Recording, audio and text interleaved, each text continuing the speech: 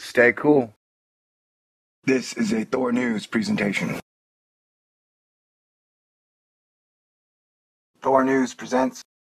I wanted to give some final thoughts about Rosetta and the Flameout lander. Flameout lander, because it flamed out. Of course, I went over to Phil Plait to get his two cents, and he's talking about Shirtstorm. Is declaring the Rosetta Flameout lander a total success after landing for two days. And so, what was the meeting like at the ESA when they were like, all right, just in case the mission doesn't go exactly as we planned it to, and the lander lands in the shade, considering like 33% of the entire place is covered in shade, how many days battery power do you think we should equip it with? You know, just so we can at least tell the public we landed and it's a total victory. And the other guy was like, one day, maybe battery power one day, two days to be safe, you know. The guy's like, by Jove, you've got it. We'll give the lander two days of battery power, and then it will die if it lands in the shade.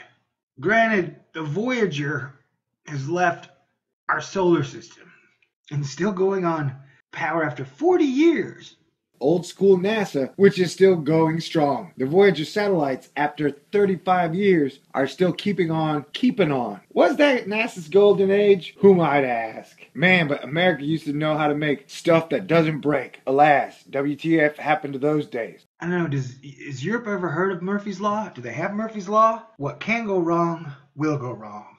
And so you guys only prepared for the best case scenario? If it lands perfectly, exactly where we wanted to, everything will be great. I mean, two days. You gave that thing billions of dollars spent on it, 10 years to get there, and you only gave it enough battery power for two days.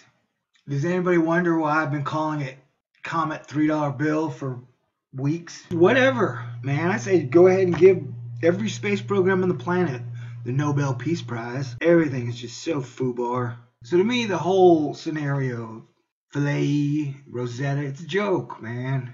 It's all a freaking joke that is not funny and costs way too much.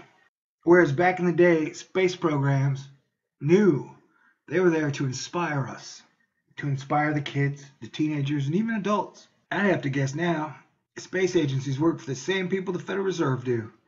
Now, what the Rosetta mission did in their two days was it proved to everybody that Science is correct.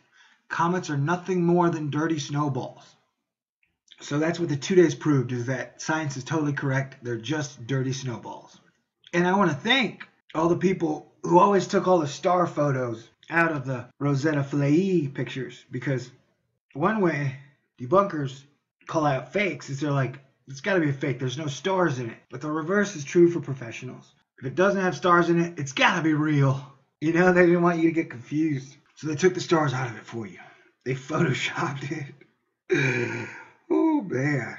It's a good old Phil Plait. It was big news. Historic even. Man.